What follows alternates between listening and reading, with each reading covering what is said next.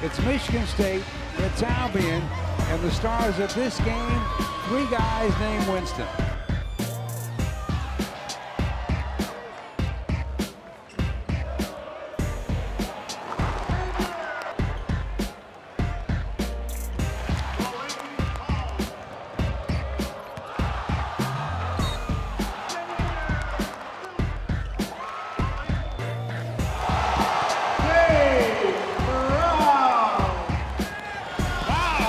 Brown again with the thunder dunk. Kithier. Oh my goodness, Thomas Kithier for three? Are you kidding me?